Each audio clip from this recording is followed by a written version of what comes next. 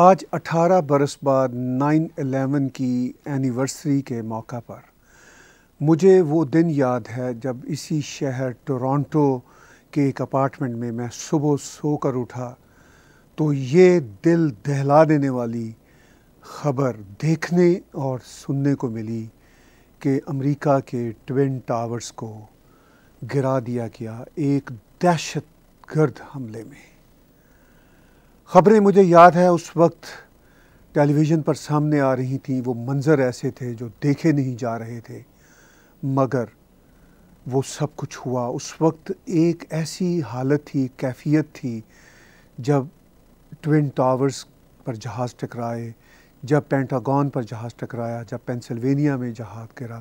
تو ایسی صورت تھی کہ شاید لگ رہا تھا کہ تھرڈ ورلڈ وار شروع ہو گئی ہے۔ کسی کو کچھ سمجھ نہیں آ رہی تھی کہ یہ حملہ کس نے کیا ہے، اس کے پیچھے کون ہے، مگر جلد ہی خبریں آنا شروع ہو گئیں کہ القاعدہ اس کے پیچھے ہے۔ اور پھر جو ڈاٹ سے ڈاٹس دنیا کے میڈیا نے ملائے اینالسٹ نے ملائے، کمنٹیٹرز نے ملائے، تو معلوم ہوا کہ واقعی ایسا تھا۔ اسی روز سے ہی کانسپیریسی تھیوریز نے بھی جنم لینا شروع کیا۔ اور طرح طرح کی کانسپیریسی تھیوریز نے ہر طرف فضا میں اپنا گھیراؤ کر لیا اور کاؤنٹر نریٹو بننا شروع ہو گئے القاعدہ کے حق میں کہ یہ اس میں انوالو نہیں ہو سکتے، بلکہ اس میں کوئی ان سائڈ جاب ہے، کوئی یہودی ہے، اس طرح کی کانسپریسی تھیوریز بننا شروع ہو گئیں۔ اور آج اٹھارہ برس بعد بھی وہ کانسپریسی تھیوریز جوں کی تو ہیں۔ یہ کانسپریسی تھیوریز کوئی باہر کی دنیا کے لوگوں نے صرف شروع نہیں کی تھی، خود امریکہ کے اندر سے۔ مائیکل مور کی فلم آئی، اس میں انہوں نے یہ دعویٰ کیا اور کئی کتابیں لکھی گئیں، کئی ڈاکومنٹریز بنی۔ اور یہی ثابت کرنے کی کوشش کی گئی کہ یہ کوئی انسائڈ جاب تھی۔ مگر مجھے سمجھ نہیں آتی تھی تب بھی اور آج بھی کہ اگر کوئی انسائڈ جاب تھی، وہ کہتے تھے کہ یہ اس لیے کیا گیا کہ امریکہ قبضہ کر سکے مڈل ایسٹ پر یا مسلمان ملکوں پر۔ تو مجھے بڑی ہنسی آتی تھی تب بھی۔ اور جو ایسا سوچتے تھے، مجھے ان کے ان خیالات پر دکھ بھی ہوتا تھا اور مجھے آج بھی ان کے خیالات پر دکھ ہوتا ہے اور ہنسی بھی آتی ہے، افسوس بھی ہوتا ہے کہ امریکہ کو بھلا اپنے ہی ساڑھے تین ہزار کے قریب لوگوں کو مروانے کے بعد یا اتنی بڑی امپائرز کو نیچے گرانے کے بعد اور اتنا بڑا کیوس کریٹ کرنے کی پرائز پہ، کیا واقعی امریکہ اگر کرے تو اس کو یہ کچھ بینیفٹس تھے جو نقصانات تھے آن دا ادر ہینڈ امریکہ کو؟ اور امریکہ کو اتنا کچھ اگر وہ جو کانسپیریسی تھیورسٹ کہتے تھے، کرنے کے نتیجے میں صرف یہی کرنا تھا کہ افغانستان پر پہنچنا تھا یا مڈل ایسٹ پر پہنچنا تھا، تو وہ امریکہ تو پہلے ہی تھا وہاں پہ۔ امریکہ تو مڈل ایسٹ کے ہر ملک میں تھا۔ امریکہ تو افغانستان، پاکستان میں تب بھی تھا۔ اس کی پریزنس بڑھی۔ وہ پریزنس بڑھنے کا جواز کوئی نائن الیون امریکہ کے لیے تھوڑا تھا۔ وہ تو امریکہ جب چاہے سیٹلائٹ سے جس مرضی ملک کو دیکھنا چاہے، اس کی ایکٹیویٹیز دیکھنا چاہے، دیکھ سکتا ہے۔ تو کیا ضرورت تھی؟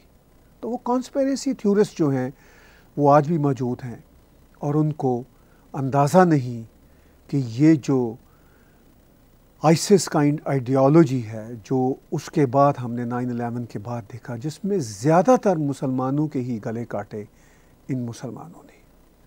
یہ جو جہادی رویہ ہے، جو نائن الیون کا موجب بنا تھا، اس کے بعد مزید کھل کر سامنے آیا۔ یہ الگ بات ہے کہ آج اٹھارہ سال بعد اگر میں تجزیہ کرنے کی کوشش کروں اور یہ سمجھنے کی کوشش کروں تو افسوس ہوتا ہے کہ امریکہ اتنی بڑی ٹریجڈی سے گزرنے کے بعد بھی ان ٹیررسٹ آرگنائزیشنز کو کنٹرول کرنے کا عمل سیکھ نہیں سکا، جس طرح اس کو سیکھنا چاہیے تھا۔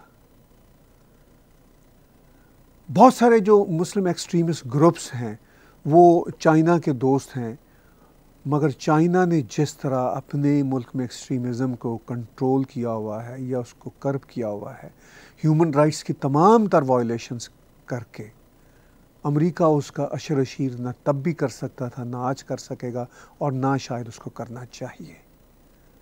مگر اس کے باوجود ان ایکسٹریمسٹ گروہوں سے نپٹنے کے بہت مؤثر طریقے ہیں۔ روس سے ہم دیکھ سکتے ہیں کہ روس نے کس طرح ایکسٹریمسٹ جہادی آئیڈیالوجی پر کافی حد تک قابو پایا۔ میں یہ نہیں کہتا کہ امریکہ نے اس جہادی آئیڈیالوجی یا ان کے پیچھے جو گروپس ہیں ان پر قابو نہیں پایا۔ وہ قابو کافی حد تک پا لیا۔ امریکہ میں اب اس طرح کے واقعات کم ہوتے ہیں۔ نائن الیون کے بعد ہم نے گزشتہ اٹھارہ برسوں میں پے در پہ کئی واقعات دیکھے۔ مگر اب نسبتاً کم ہو گئے ہیں، خاص طور پر صدر ٹرمپ کے آنے کے بعد۔ لیکن صرف امریکہ ہی ان کا ٹارگٹ نہیں ہے۔ ان کا ٹارگٹ یورپ بھی رہا، ان کا ٹارگٹ ایون چائنا بھی رہا، رشیا بھی رہا۔ چائنا اور رشیا نے تو کافی حد تک قابو پا لیا۔ یورپ میں بھی اب کافی حد تک قابو پا چکے ہیں۔ مگر ان کا ٹارگٹ مسلمان ملکوں میں رہنے والے مسلمان زیادہ ہیں۔ جہاں ان کا زیادہ بس چلتا ہے، جہاں ان کا زیادہ زور چلتا ہے۔ آج بھی اسی افغانستان میں جہاں سے یہ نائن الیون کے گنڈے تیار ہو کے آئے تھے۔ اور اسی افغانستان پر جب امریکہ نے حملہ کیا تھا نائن الیون کے کچھ ہفتوں بعد، اسی امریکہ میں، اسی امریکہ کو آج بھی دیکھنا پڑ رہا ہے کہ آج کے افغانستان میں بھی، آج بھی اسی طرح کے ٹیررس حملے ہو رہے ہیں۔ اور امریکہ ابھی ہفتہ دس دن پہلے تک ان کے ساتھ انہی طالبان کے ساتھ پیس پیکٹ پر سائن کرنے جا رہا تھا۔ یعنی اٹھارہ برس بعد بھی امریکہ کی نائیوٹی جو ہے، وہ کسی نہ کسی سطح پر اپنی جگہ پر قائم ہے۔ وہ شاید ایسا سوچتے ہیں کہ چلے مسائل کو اگر اس طرح ڈائلاگ کے ذریعے حل کیا جا سکتا تو کر لیں۔ مگر صدر ٹرمپ کو چند روز پہلے ہی کہنا پڑا جب انہوں نے افغان پیس معاہدہ جو افغان گورنمنٹ اور طالبان کے بیچ کیمپ ڈیوڈ میں کرنا تھا، انہوں نے کہا کہ میں اس کو پوسٹ پین کر رہا ہوں کیونکہ یہ جو بارود کی بات ابھی بھی نہیں چھوڑ رہے، ان کے ساتھ کیسے بیٹھ کے بات ہو سکتی ہے؟ پھر انہوں نے یہ بھی کہا کہ اگر یہ کہتے ہیں کہ بارود اور سوئسائڈ بامبرز وہ ہمارے نہیں ہیں، طالبان والے یہ کہتے ہیں تو پھر ان کے ساتھ بیٹھنے کا فائدہ کیا ہے؟ یہ تو روک بھی نہیں سکتے ان کو۔ لیکن یہ بھی حقیقت ہے کہ افغانستان ہو یا ابھی بھی دنیا کے کچھ حصے ہوں جہاں پر یہ ٹیررزم ہے، آج بھی آئسس جو نسبتاً بہت کمزور ہو چکی ہے، القاعدہ جس کا بظاہر نام ختم ہو چکا ہے، مگر نام سے کیا فرق پڑتا ہے؟ اصل چیز تو آئیڈیالوجی ہے۔ وہ آئیڈیالوجی کسی اور رنگ میں، کسی اور شکل میں اپنا کام دکھاتی رہتی ہے۔ آج بھی آئسس کے لوگ اور القاعدہ سے کنورٹ ہونے والے آئسس کے لوگ اور طالبان کے بہت سارے گروہ آج بھی ان تمام سوئسائڈ اٹیکس کی ذمہ داریاں قبول کرتے رہتے ہیں۔ تو آج کے نائن الیون کے اینیورسری کے موقع پر دو ہزار انیس گیارہ ستمبر کو امریکہ نے اور پوری دنیا نے یہ سمجھنا ہے کہ آخر اس گنہونی آئیڈیالوجی پر کیسے قابو پانا ہے؟ چونکہ یہ گنہونی آئیڈیالوجی امریکن یا یورپین سے زیادہ مسلمانوں کو برباد کر رہی ہے۔ جب میں امریکہ کو یہ کہتا ہوں کہ امریکہ کو کم از کم آج بھی یہ سوچنا ہے وہ سپر پاور ہے اور اس کے کہنے پہ بہت سارے جو اسلامی ممالک ہیں وہ عمل کرتے ہیں۔ اسلامی ممالک کی یہ جو انسٹیبل پولیٹیکل گورنمنٹس ہیں یا وہاں کی جو کرپٹ گورنمنٹس ہیں، وہ اس کا تو کوئی تدارت کریں گے نہیں۔ اس کا تدارک پھر ویسٹرن ورلڈ کو کینیڈا امریکہ برطانیہ یورپین یونین آسٹریلیا ان کو کرنا ہے۔ اور اس سلسلہ میں جہاں پر بہت سارے اختلافات روس اور چین کے ساتھ ویسٹرن ورلڈ کے اپنی جگہ پر ہوں مگر ضروری ہے کہ وہ ان کو بھی اس معاملے پر آن بورڈ لیں چونکہ نائن الیون کا واقعہ کوئی معمولی واقعہ نہیں تھا۔ اور نائن الیون کے بعد جڑی ہوئی جو ٹیررزم ہے، جو آج بھی چل رہی ہے، جو نسبتاً کم ہو گئی ہے، مگر وہ کم ہونے کے باوجود بھی میرے جیسے مبصر اس خوف میں مبتلا یا اس شک میں مبتلا رہتے ہیں کہ کیا یہ ٹیررس سٹریمز جو ہیں کہیں کارپٹ کے نیچے تو نہیں چلی گئیں، چونکہ دنیا نے ابھی اپنے آرمز کو کافی ان کے لیے سخت کیا ہوا ہے۔ تو جب کبھی یہ موقع ملے گا، پھر یہ اپنی حرکتیں کریں گے اور بلا شبہ یہ کریں گے۔ یہ آئیڈیالوجی ہی بدقسمتی سے ایسی ہے۔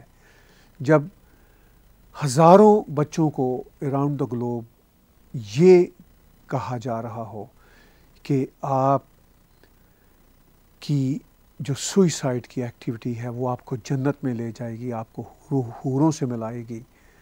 تو یہ آئیڈیالوجی کیسے ان سوئسائڈ ایٹامک بمس کو بننے سے روک سکے گی؟ آج کے نائن الیون کے دن پر صرف امریکہ کو ہی یا صرف ویسٹرن ورلڈ کو ہی نہیں، بلکہ پوری دنیا کو، پوری دنیا کی مذہبی اور نسلی اقوام کو یہ طے کرنا ہوگا کہ اس آئیڈیالوجی سے نجات حاصل کرنے کے لیے ہمیں ایک آواز چلنا ہوگا۔ اور آج کے نائن الیون کے اس موقع پر دنیا کے میڈیا کو یہ طے کرنا ہوگا کہ کانسپیریسی تھیوریز کی بجائے کامن سینس کو برتے کانسپیریسی تھیوریز کی بجائے جو ایک گراؤنڈ ریالٹی کی صورتحال ہے، اس کو سمجھے۔ چونکہ اس جہادی ٹیررزم کہ جن سے نپٹنا ہر انسان کا فرض ہے۔ بلا تکلف کا یہ خصوصی مختصر تجزیہ نائن الیون دو ہزار انیس کے موقع پر، نائن الیون کی اینیورسری کے سلسلہ میں طاہر گورا نے پیش کیا۔ اگلے پروگرام کے ساتھ ہم حاضر ہوں گے۔